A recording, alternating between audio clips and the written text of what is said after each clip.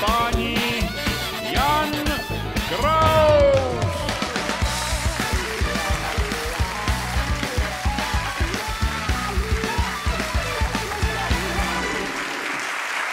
Děkuji, dobrý večer, dámy a pánové. Děkuji. Rád bych vám popřál v novém roce všechno nejlepší a jak se říká hodně zdraví, štěstí, spokojenosti. Je to celý ten seznam, taky vám ho přeju kompletní. Chtěl bych za sebe říct, že bych vám přál, abyste také žili statečně a veselé. Myslím si, že to je taky hodně důležitý, není zvykem to tak přát.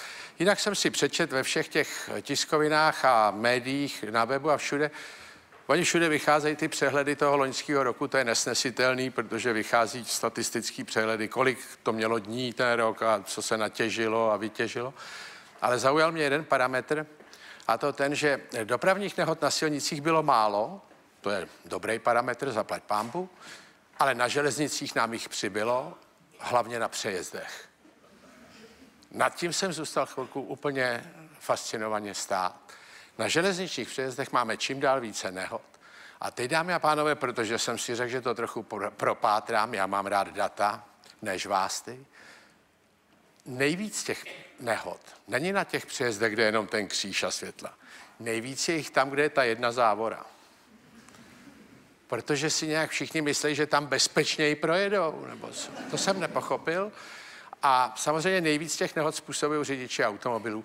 Já myslím, že by se to dalo vyřešit tím, že když tam jede po červený, ono pozor ještě, on tam jede po červený, protože ten vlak odjel a on je přesvědčený, že žádný vlaky na druhou stranu nejezdí, tak tam jede a stane se taky nehoda. Ale myslím si, že kdyby se sebral řidičák tomu člověku na doživotí a všichni jsme to věděli, včetně mě, byli bychom opatrnější. Druhá věc, která mě zaujala, je, že se má přijet nějaký zástupce Evropské unie, aby zkusil vyřešit náš problém s podporou internetu, na kterou dostáváme 14 miliard a už tři roky nejsme schopni to realizovat.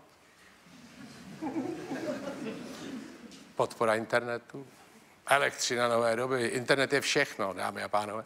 Pokud podnikáte, tak to, že se něco tři roky takhle zdrží, to nás a vás, co podnikáte, obzvlášť stojí hodně peněz. Takže to nechápu a nevím, jestli to taková neschopnost vymyslet, jak to čerpat, tu podporu, anebo takový úsilí vymyslet, jak to zase ukrást ty peníze, že se to tak protáhlo, protože i v tom kradení jsme bývali docela rychlí.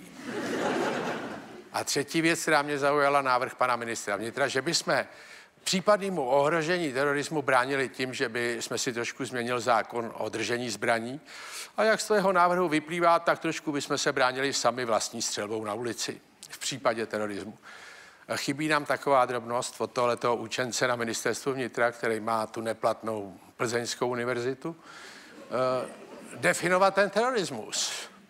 Protože pro někoho může být terorismus i to, že někdo brání tři roky podpoře internetu. To bychom pak mohli střílet politiky dokonce na ulici. To by asi nebylo dobrý. Takže dámy a pánové, přejme si, aby ten příští rok, nebo ten, co teď právě začal, byli v tomhle lepší.